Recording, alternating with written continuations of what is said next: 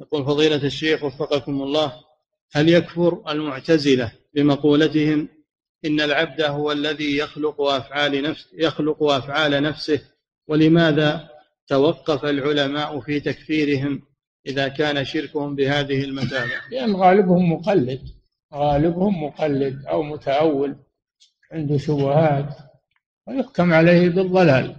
أما إذا تعمد هذا فإنه يحكم بكفره. لكن أغلبهم ما تعمد يكون مقلدا أو جاهلا. يقال هذا ضلال وينهى عنه. نعم.